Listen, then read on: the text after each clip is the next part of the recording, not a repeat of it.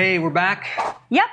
And we're always looking for good ways to hide avocado into your meal, right? No. We're always No. looking for fun ways to have drinks and side dishes. And um, this is a blueberry smoothie. And yes, it has avocado in it. And you don't even taste it. You don't? No, you don't. Well, let's find out. All right. So this has avocado, blueberry, and what else, Karen? Love. Wow, that's really good. Almond milk. Um, so it's got your good fats in there. The fat. That is so smooth and so creamy.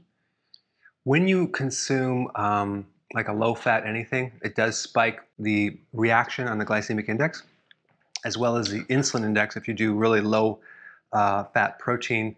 But the fat in here helps to buffer a little of the sugar in the blueberries, so I think we're good to go. This is so yummy. Um, obviously, we're adults and we love it. Kids will love this, hands down. And it's not super sweet. It's just sort of uh, like a fresh sweet from the blueberry. And what does the blueberries uh, give you, Karen, nutrition wise? Good things. Antioxidants. Good. To fight those free radicals. Okay. On that note, this is how you make it.